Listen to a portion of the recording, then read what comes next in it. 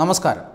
ബുധനാഴ്ച ഇസ്ലാമാബാദിൽ നടന്ന ഒരു ഇസ്ലാമിക രാജ്യങ്ങളുടെ ഒരു കൂട്ടായ്മയുടെ യോഗം നമ്മളെല്ലാം മാധ്യമങ്ങളിലൂടെ വായിച്ചറിഞ്ഞതാണ്. ഓർഗനൈസേഷൻ ഓഫ് ഇസ്ലാമിക് കൺട്രീസ് എന്ന് പറയുന്ന പാകിസ്ഥാൻ ഉൾപ്പെടെയുള്ള ഇസ്ലാമിക രാജ്യങ്ങളുടെ ഒരു കൂട്ടായ്മ. ആ കൂട്ടായ്മയുടെ യോഗം ഇസ്ലാമാബാദിൽ സംഘടിപ്പിച്ചു.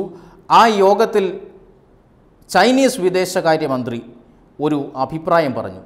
എന്തുകൊണ്ടാണ് ചൈനീസ് വിദേശകാര്യമന്ത്രി ആ യോഗത്തിൽ പങ്കെടുത്തത് എന്ന് ഇപ്പോഴും അറിയില്ല. പക്ഷേ ചൈനീസ് വിദേശകാര്യമന്ത്രി ആ ഒരഭിപ്രായം ആ യോഗത്തിൽ പറയുകയുണ്ടായി. അതായത് കശ്മീരിലെ ജനങ്ങൾ എന്തോ വലിയ ബുദ്ധിമുട്ട് അനുഭവിക്കുകയാണ് അതുകൊണ്ട് കശ്മീരിലെ സഹോദരന്മാരുടെ വേദന ഞങ്ങൾ കാണുന്നു. പ്രദേശം പിടിച്ചെടുക്കാൻ പാകിസ്ഥാനെ ചൈന സഹായിക്കും എന്ന ഒരു പ്രസ്താവനയാണ് നിരുത്തരവാദപരമായ പ്രസ്താവനയാണ് ചൈനീസ് വിദേശകാര്യമന്ത്രി ആ യോഗത്തിൽ നടത്തിയത്. കാശ്മീർ ഇന്ത്യയുടെ അവിഭാജ്യ ഘടകമാണ്. നടക്കുന്നത് ഇസ്ലാമിക രാജ്യങ്ങളുടെ യോഗമാണ്. അവിടേക്ക് വലിഞ്ഞു കയറി ചെന്നത് എന്തിനാണ് എന്നറിയില്ല. പക്ഷേ അവിടെ നടത്തിയ പ്രസ്താവനയാകട്ടെ ഇതിലൊന്നിലും പെടാത്ത ഇന്ത്യയെക്കുറിച്ചുമാണ്. തീർത്തും നിരുത്തരവാദപരമായ പ്രസ്താവനയാണ് എന്ന് അതിശക്തമായി ഇന്ത്യ ഇന്ത്യൻ വിദേശകാര്യ മന്ത്രാലയം ഈ പ്രസ്താവനയെ അപലപിച്ചിട്ടുണ്ട്. ഇന്ത്യയുടെ ആഭ്യന്തര കാര്യങ്ങളിൽ ചൈന ഇടപെടേണ്ട കാര്യമില്ല എന്നു തന്നെ അവർ ഇന്ത്യൻ ഇന്ത്യ പ്രതികരിച്ചു. പക്ഷേ അതിനോടൊപ്പം Islamic organisation organisation of Islamic countries എന്ന കൂട്ടായ്മ ഈ കൂട്ടായ്മ തന്നെ നിരർത്ഥകമാണ്. അല്ലെങ്കിൽ ഇതുകൊണ്ട് യാതൊരു പ്രയോജനവുമില്ലാത്ത ഒരു സാധനമാണ് എന്നുവരെ ഇന്ത്യ ശക്തമായി തിരിച്ചടിച്ചിരുന്നു. പ്രശ്നം ഇതൊന്നുമല്ല ഇന്ന് രാവിലെ ചൈനീസ് വിദേശകാര്യമന്ത്രി വാങ് ഇ അതായത് നേരത്തെ പറഞ്ഞ വിവാദപരമായ പ്രസ്താവന നടത്തിയ ചൈനീസ് വിദേശകാര്യമന്ത്രി ഇന്ന് രാവിലെ തന്നെ ഡൽഹിയിലെത്തിയിട്ടുണ്ട്.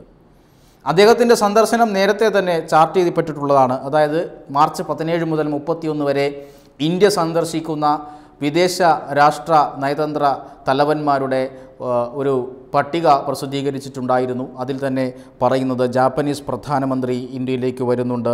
യു കെ അദ്ദേഹം വന്നുപോയി. യു കെ ഫോറിൻ മിനിസ്റ്റർ ബ്രിട്ടന്റെ ഫോറിൻ മിനിസ്റ്റർ വരുന്നുണ്ട്. യു എസിന്റെ സീനിയർ ഡിപ്ലോമാറ്റുകൾ വരുന്നുണ്ട്. ചൈനീസ് ഫോറിൻ മിനിസ്ട്രി അതായത് വാങ് യി വരുന്നുണ്ട്. ശ്രീലങ്കയുടെ ഫോറിൻ മിനിസ്റ്റർ വരുന്നുണ്ട്.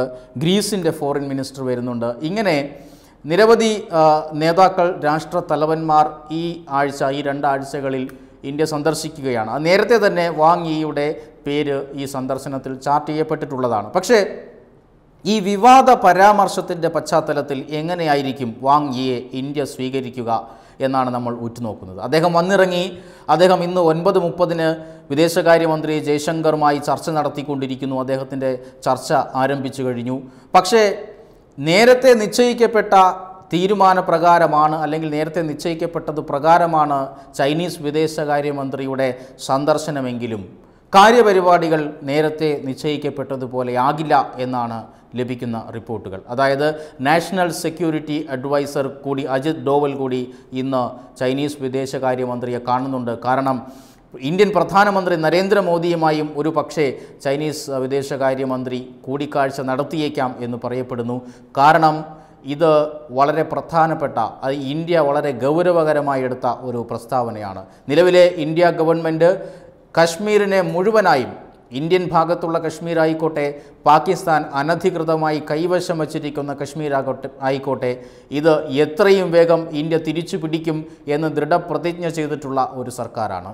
ഇന്ത്യയുടെ ആഭ്യന്തരമന്ത്രി ശ്രീ അമിത് ഷാ കഴിഞ്ഞ കുറേ മാസങ്ങൾക്ക് മുന്നേ പാർലമെന്റിൽ പറഞ്ഞ വാക്കുകൾ നമ്മളിപ്പോഴും ഓർക്കുകയാണ്. ജീവൻ കൊടുത്തും പാക് ഒക്കുപ്പൈഡ് കശ്മീർ തിരിച്ചു പിടിക്കും എന്നാണ് പാർലമെന്റിൽ അസന്ദിഗ്ധമായി ഈ സർക്കാർ പ്രഖ്യാപിച്ചിട്ടുള്ളത്. ഒരുപക്ഷേ സ്വാതന്ത്ര്യലബ്ധിക്ക് ശേഷം പാക് ഒക്കുപ്പൈഡ് കശ്മീരിനു വേണ്ടി ഇത്രയും ശക്തമായും പരസ്യമായും വാദം ഉന്നയിച്ചിട്ടുള്ള അല്ലെങ്കിൽ പാകിസ്ഥാൻ പാക് ഒക്കുപ്പൈഡ് കശ്മീർ വിട്ടൊഴിയണം എന്നുവരെ പറഞ്ഞ ഒരു സർക്കാരാണ്. ഈ ഒരു നിലപാടിൽ ചൈനയ്ക്കും അതുപോലെ തന്നെ പാകിസ്ഥാനും ഭയമുണ്ട്. ഇന്ത്യ ഒരുപക്ഷെ കോവിഡ് മഹാമാരി വന്നിട്ടില്ലായിരുന്നുവെങ്കിൽ കോവിഡ് മഹാമാരി ലോകത്തെ ബാധിച്ചിട്ടില്ലായിരുന്നുവെങ്കിൽ ഒരുപക്ഷെ ഇപ്പോൾ ഇതിനോടകം പാക് ഒക്കുപ്പൈഡ് കശ്മീർ ഇന്ത്യ തിരിച്ചു പിടിച്ചേനെ. അതിനുള്ള എല്ലാ സന്നാഹങ്ങളും ഇന്ത്യ ഒരുക്കി കാത്തിരിക്കുകയാണ് അനുകൂല നിമിഷത്തിനായി കാത്തിരിക്കുകയാണ് എന്ന് നമുക്ക് നമുക്ക് എല്ലാവർക്കും അറിയാം.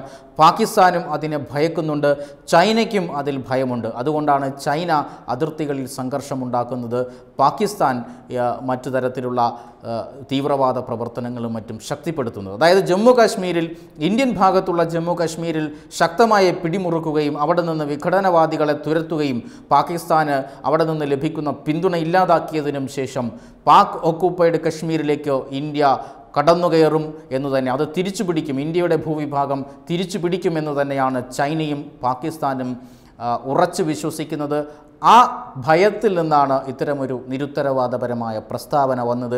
അതിനെ ഇന്ത്യ ഒരിക്കലും ലാഘവ ബുദ്ധിയോടുകൂടി കാണില്ല.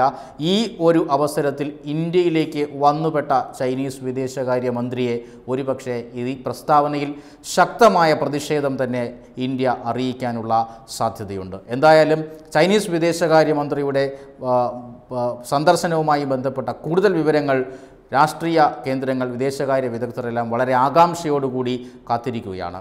വെബ് ഡെസ്ക് തത്തുമയ്യ ന്യൂസ്.